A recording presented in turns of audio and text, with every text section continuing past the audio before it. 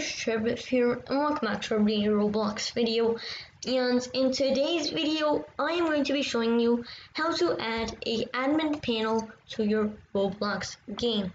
So first what you want to do is get the HEU's admin panel, I think yeah it's the name, um that's the name of the panel, admin panel, HEU's admin panel.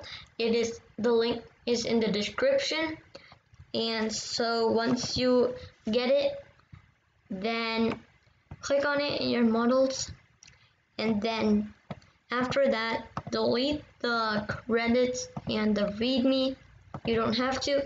But then after that after you do that put the model in server script service and then ungroup it. Now what you want to do is scroll down and then after that you can change the like the admins you wish to have. So I will put let's say hmm let's do alright let's do AppONV and then after that let's do bacon blink wait is it yeah I think so that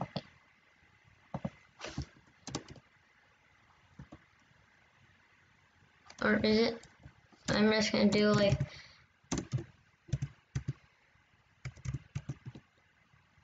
Alright, and now I'm uh oops. I'm just gonna put some random like Roblox and Builderman. Builderman and let's do hmm let's do admin Tilon. Alright, so if we test this in our game and in Roblox Studio, we will see this. So this is how it looks like. You can ban people and unban them and they're coming soon stuff. I think this is an alpha or something like that. Yeah, something like that. Wait, what is it? Uh, oh wait, it doesn't, uh, yeah, it doesn't, it doesn't say like that in Roblox Studio, but let's do my username, chairbf Official, test this was, test this was, and it kicks yourself. Now the issue I think is that you um you can kick admins like admins can kick themselves and ban admins I think uh, like uh, like they um HD admin unofficial and I think uh wait who was the other guy? wait.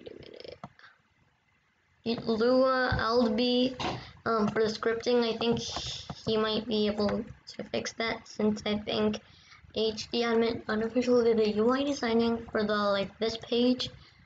And yeah and the owner of the mod model. So just like that you can even like ban and unban and stuff like that. You can do that. You can see this works and this is only visible to admins. You will only this GUI will only be visible to admins when they join the game. So anyways I think this is an alpha so there might be bugs. I'm not sure. It might be alpha or beta. I think it's alpha though it was re recently released actually. In fact it was actually today but make sure to like and subscribe to chairbf and follow chairbf for more updates the link in the description is in the description for the admin panel thing yeah for um HEU's admin panel that the link is in the description so just in case if anyone is confused or anything like that the link is in the description so thanks for watching. Make sure to like and subscribe to chairbf and follow chairbf for more updates.